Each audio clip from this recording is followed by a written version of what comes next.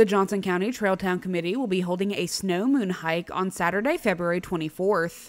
Being uh, outside at night kind of changes your perspective on the world.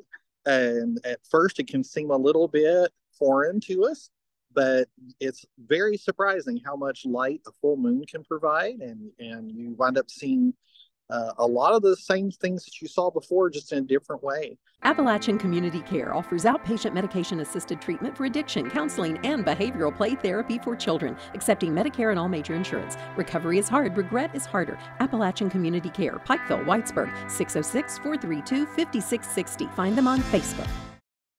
The snow moon is the last full moon of winter, and Trail Towns wants to take advantage of it by getting people out to enjoy an evening hike under the stars alongside a moonlit Paintsville Lake. Anyone is welcome to come out, but remember to bring a walking stick and a flashlight. We do realize it's a little bit uh, more of a challenge for folks to to not even start a hike until eight o'clock at night. But the payoff is in getting to see that glorious snow moon uh, glistening across beautiful Paintsville Lake. I think it will be well worth um, a little bit later Saturday night activity. The Snow Moon hike will begin at 8 p.m. on the Kiwanis Trail on Saturday, February 24th. For more information, you can visit the Johnson County Trailtown Committee Facebook page.